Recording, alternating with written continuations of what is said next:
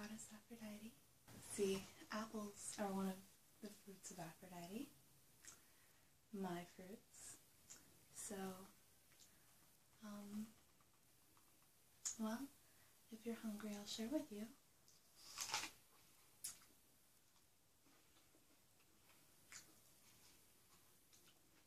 Hmm.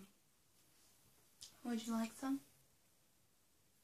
See, if you said yes, that was a love spell. Love spells can be anything. They're really just intention added to something that you perceive as a ritual. So, for example, if you're ever in a quick fix, you know, a love at first sight type scenario, and you want to know interest in you, take an apple, hold it. If you are, say, in a grocery store and you see someone and your eyes meet, and all of a sudden you see their souls and you feel that they saw you too. You really saw each other, and maybe you recognize them. Who's to say that you weren't lovers in a past life? Well, no matter what the situation, find an apple if you don't have one, and take a bite, and then offer it to the other person. If they accept, it means that they have some interest, and it's sort of an inviting love spell. It's an invitation for love spell. It's very ethical because they can say no. You can't force feed them apple. Um, that wouldn't be a loving relationship if your first encounter was, Would you like some apple? And they say no, and you're like, Eat my apple. Aphrodite does not condone um, any sort of forced love ever. So, apples. I'm not actually going to share. I'm a goddess, and this is an offering to me, so.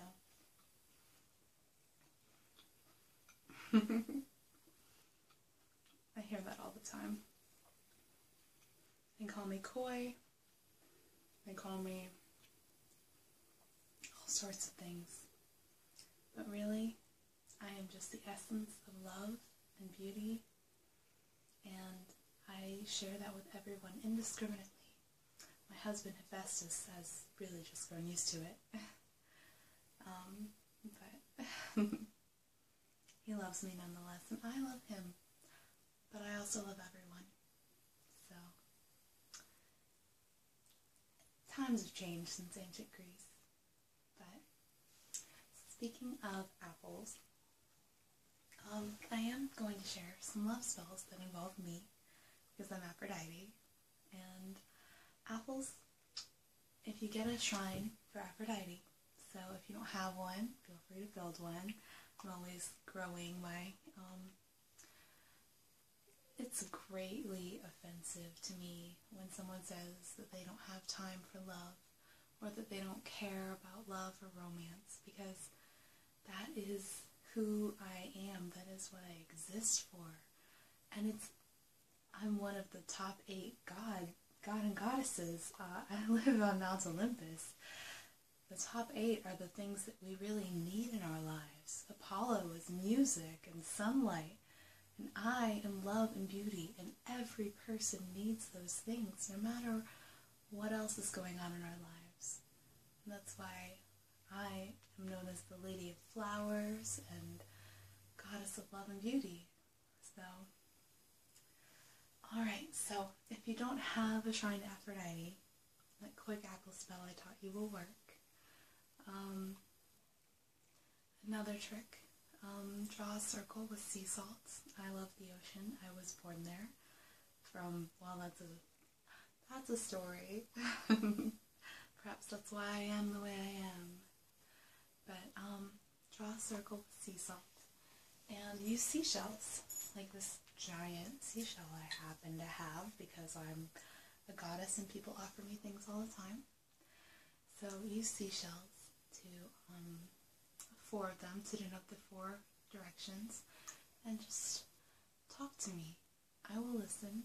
Another interesting thing about seashells is they can be used as aphrodisiacs. Just put them around the room subtly. They're very um, amorous, like oysters. With rose quartz. Aphrodite loves the good rose quartz. I would be wearing rose quartz, but I'm wearing pearls because I'm feeling very ocean friendly today. I miss it. I need to visit again. So, alright.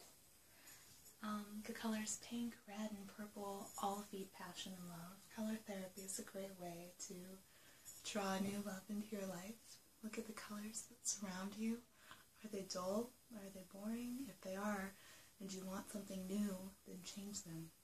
Or if you're in a relationship and you'd like to commit more and settle down, try green. Green is the color of fertility and also everlasting, unconditional love. So, flowers. Flowers are great. Hmm.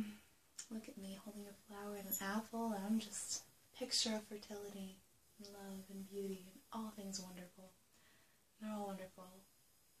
And if I didn't rule love and beauty, if I were the goddess of the forge, I would love metal, and I would talk about metal. But that's my husband, Hephaestus. So, anyway, let's see.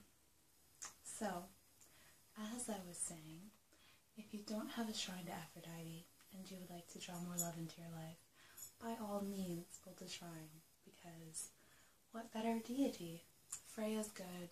I recommend Freya, if not me, but um, choose whatever deity you like, preferably me because I'm Aphrodite. So, um, if you would like to build a shrine to me, mermaids, um, doves, apples. Those are my things. I have some other things. I think bunnies would work. I like bunnies. They're okay. Um, seashells, of course. Any sort of seashell. I really do like mermaids. I often take the form of a mermaid or just a statue of a beautiful woman. Or even a picture of yourself because we are all beautiful and we all have every quality that I possess comes from humanity. Humanity made me, and I am a reflection of the beauty and the love that is found all over the world. And that's why I'm so happy, because there's so much love and there's so much beauty everywhere. So, anyway, just build a little shrine, and once you have that, there are two different spells that I personally prefer. One, get three apples and place them on the shrine. Ask me to charge them for you, and I will. I'll charge them with love and offer them to the person of your choosing. Again, this is a very ethical love spell. I've grown since the days of uh, Adonis, whose face I loved best when white, yet best when red, as Shakespeare put it. I am not ashamed of my actions. Adonis is a beautiful man. Ah, listen to me, old woman. so, if you put those three apples on the altar, I will, you know, charge them with love energy for you and then offering them to the person. So, give them the apple honestly, and you'll see where your love goes from there. Another thing you can do is um, put an item something you'd like to charge, like an amulet or just a token. Necklace will work, anything really. Just place that on my altar as well. And make sure you let me know that it's not for me, that it's for you, and that I'm charging it for you. Otherwise, I might grow attached, and you don't want to, you know, anger or upset me. I get very attached sometimes. So, yeah, I will charge a necklace or any sort of amulet, talisman, oil. So go ahead and do that, and I'll take care of it. Mm.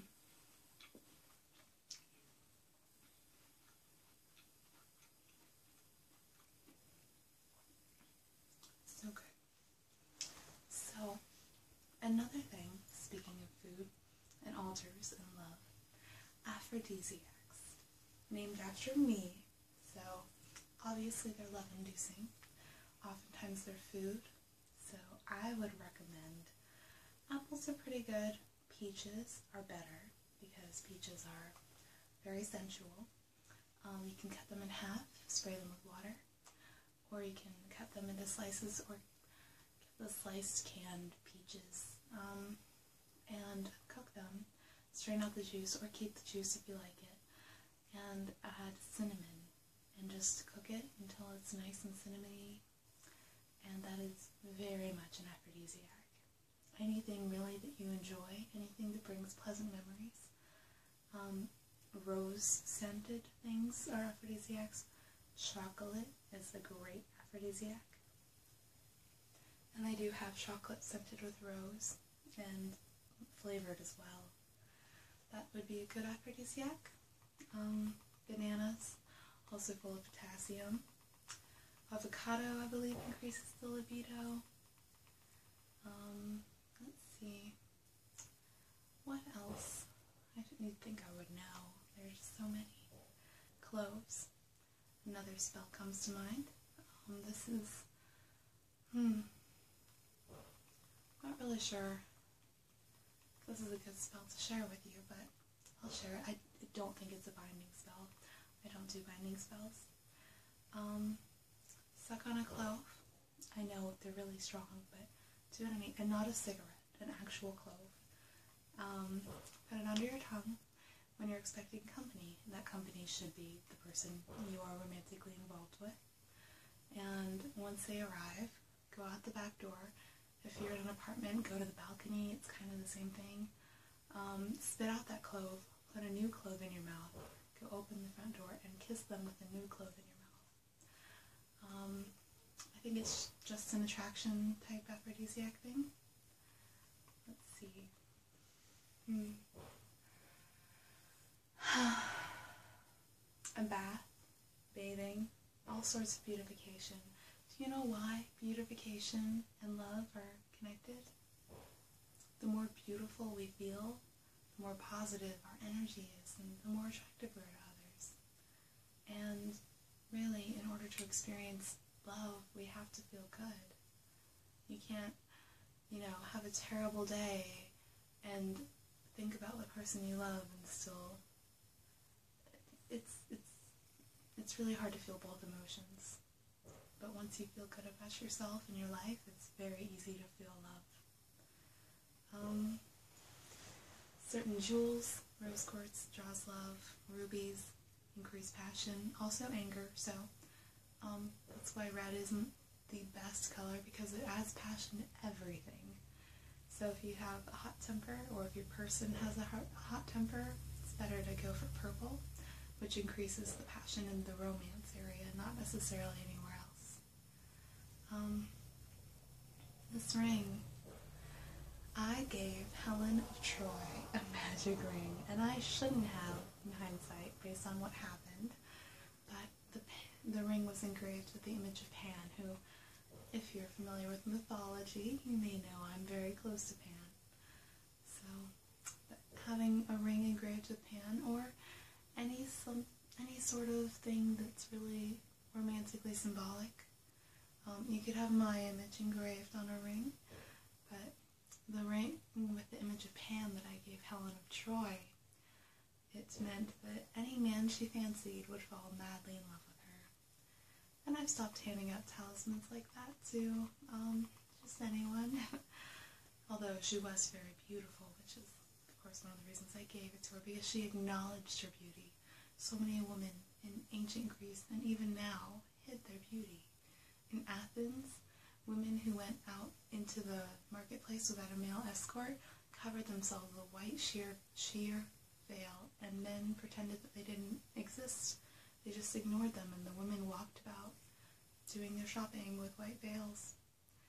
And hiding their beauties, to me, again, offensive. It's just, we all have beauty, and we all have the right to shine, and we all have the right to be loved. We exist. That's all the prerequisite you need for love. You exist, I love you. You exist, and I love you. The Aphrodite promise. so, apples, again, perfect. Um, let's see. Well, let's See, so since it was just recently a holiday celebrating love, for those of you who have people, celebrate that. Celebrate each other. And celebrate yourselves. Um, which is what I was going to say for those of you who don't have significant others. Celebrate yourselves. All of you, whether you're with someone or not, celebrate yourselves. And if you do have someone else in your life, celebrate them as well. And even if you don't have someone reciprocating love in your life, you can celebrate the other person. Celebrate them. Tell them, I appreciate you and I appreciate your existence and I love you. And this is just advice from a centuries old goddess of love. what do I know? Ah, I know, it's my personality. so, let's get comfy. Hmm.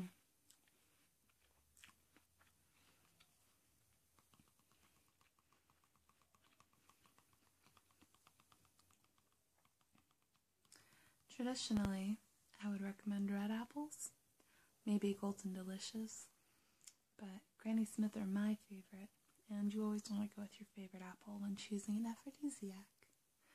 Always choose your favorite. If you don't like patchouli, never use patchouli. If you love lavender, like I do, use lavender all the time. Use whatever makes you feel good about yourself.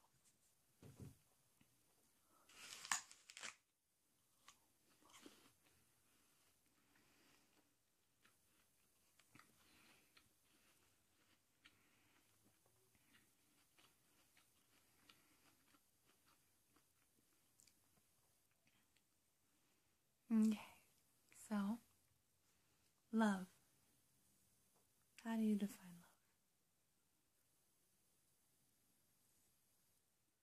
love? Love is the many splendid thing. Love lifts us up where we belong. All you need is love. No, no, no, I'm not gonna. hmm. I will not quote musicals to you, even if they are musicals with no original songs. Unless Spectacular Spectacular is original. Hmm. So, well, love is caring about yourself and doing things for yourself. Love is also caring about other people, but in order to do that, first you have to take care of yourself. You can't be happy by making other people happy. It never because sometimes they want you to do things that you know will not make you happy. Um, trying to please someone else just doesn't work. You need to work on yourself first and maintain your own happiness, and then go from there. And if every person did that, we wouldn't rely on others for our own happiness. Hmm. It's particularly important in relationships. I think that if Hephaestus depended on me for his happiness, he would be sorely disappointed because he would probably want me to. Well, for one, he wouldn't be happy with my philandering, but he doesn't have any expectations from me. He loves himself and he takes care of himself, and I do the same. And I do love my husband, so I think he's happy with how things are. As happy as a crippled, you know, God can be. He's the only crippled God, and yet I love him. So, and I could have been with Apollo or Ares or I mean, we're all incestuous on Mount Olympus, so what's the harm? Could have been with Zeus. Except Hera would kill me. She rules jealousy. Jealous wife archetype. Whereas I'm the lover. Hmm.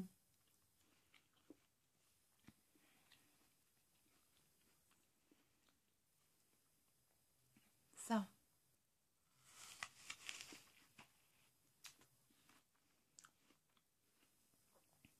What is it you wish for?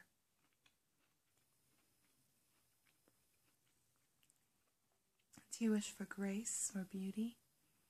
Do you wish for love? Do you wish for the love that you want for a certain person? As if you do, I'm going to tell you now.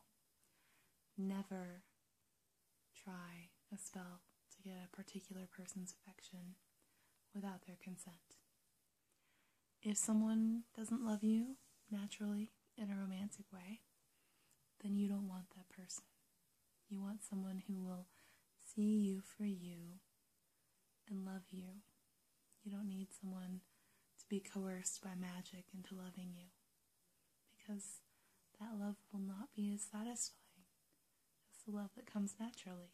Trust me. Hmm. so, if you're coming to me for love, either self love and a boost of confidence and beauty and confidence because of all of those things that you are. And I, I'm immortal. I have seen all that everyone is. And you are all amazing. So, if you're coming to me for that, or if you're coming to me for a love spell, I want you to close your eyes and I want you to feel what it feels like to have that thing which you want. Again, if you're imagining it with a specific person who, you know, may or may not have the same feelings for you, don't imagine that person. Imagine what it feels like to love that person. And imagine what it would feel like to have that love in return. And I want you to just close your eyes and keep feeling what it feels like to be loved, to know that you are beautiful, to know that you are loved. And I want you to know that as you're feeling those feelings, you already have those things. Nothing changes other than you and your perspective and how you feel. You can feel lonely in a relationship. You can feel happy without a relationship. And you can feel loved without a relationship. So, however you want to feel, don't hold yourself back. Don't say, I will be happy when. Say, I am happy now. And close your eyes or look at something beautiful that inspires happiness in you. And feel all of those feelings now. You already have them. Everything is at your fingertips. You're human, and that's marvelous. And you can feel whatever it is you can imagine you can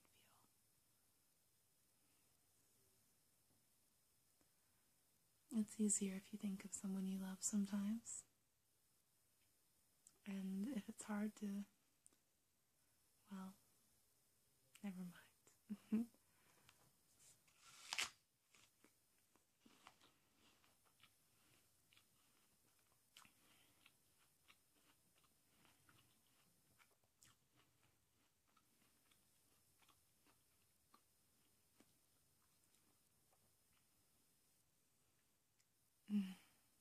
So, if you are looking for a relationship, know that you are loved by everyone. On some level of our core, we all are connected. Quantum physics, it's true. And know that I, Aphrodite, love all of you.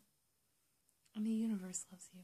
And the universe supports you. And that's why we have air and gravity and so many other things. and if you want to feel beautiful and confident, feel those things now. Too many women talk to me and men and say, just help me, you know, make my hair more lustrous, or help me lose weight, or help me gain weight in certain areas and they don't feel beautiful because see flaws with themselves. And it's not, I'll love myself in five pounds from now. love yourself now, and you'll be amazed at the magic that that brings about in your life. That's the real magic loving yourself and allowing yourself to have and do the things that you want. Aphrodite out. Kidding, I'm still here.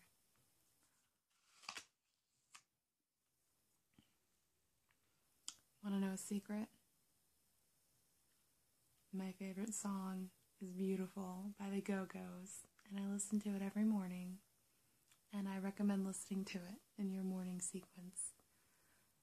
Just makes you feel alive. it's, you know, 80s music, but it pretty much captures the Aphrodite way of living.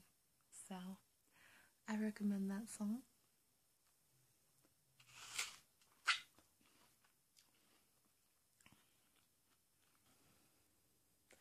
This is sleepover mode, Aphrodite. Girl talk and close up and eating an apple. Sounds about right. hmm.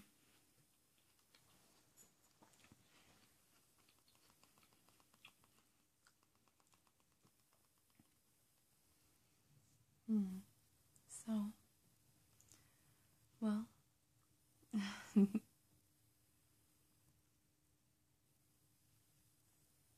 you've obviously come to me for a reason.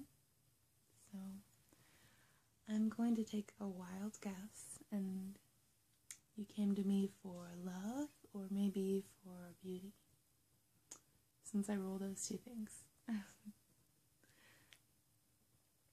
well, the secret is love yourself. You can't draw something to yourself that you can't experience on your own. It's law of attraction. So, hmm.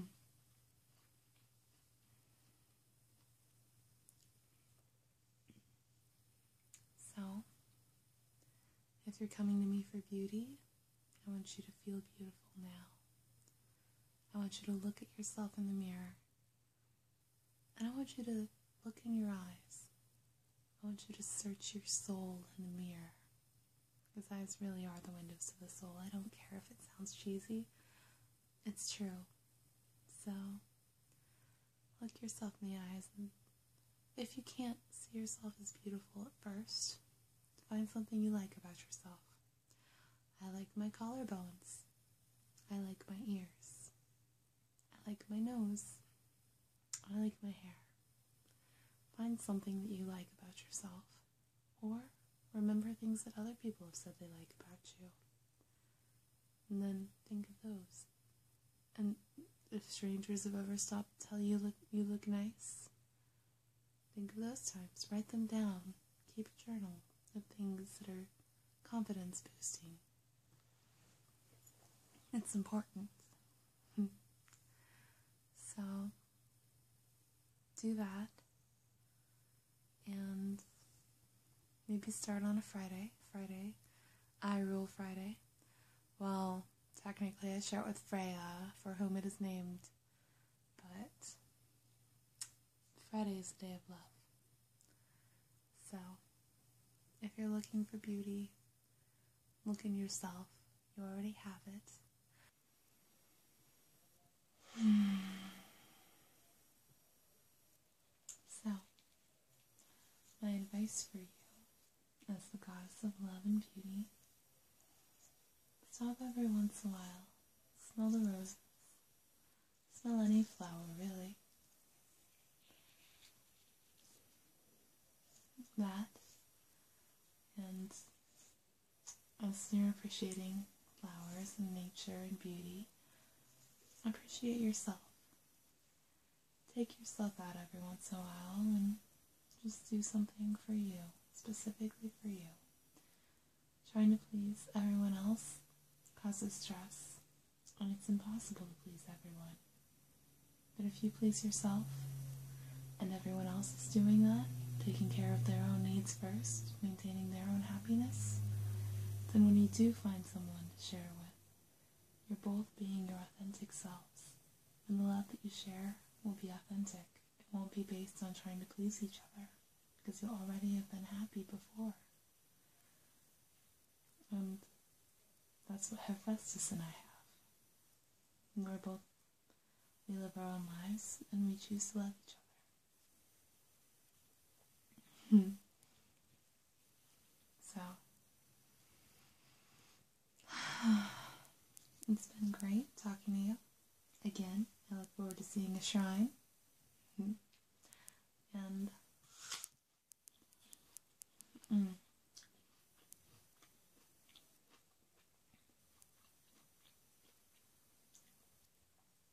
I'm free to talk anytime. Just think of Aphrodite and whatever concerns you have, and I'm there. And maybe I'll come again and make another video and talk some more about magical things. So, well, I'm going to finish my apple and go see Hephaestus. So, have a lovely night or day, whichever part of the earth you're on. And know that you are loved and that you are always worthy of being loved simply because you exist and you are who you are. And you are a unique individual in this huge world. And that's a beautiful thing.